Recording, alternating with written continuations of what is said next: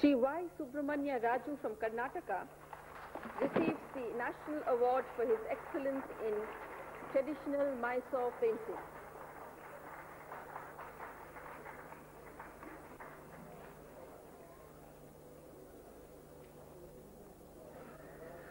of our traditional craftspersons and giving them a place of honor and dignity in the realm of creativity.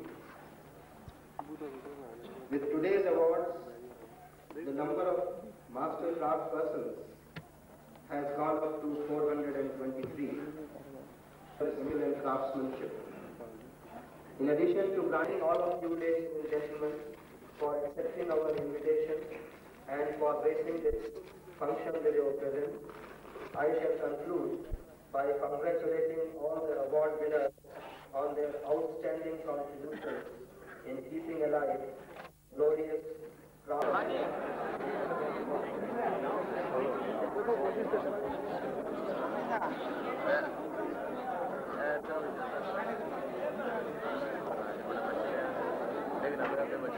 you.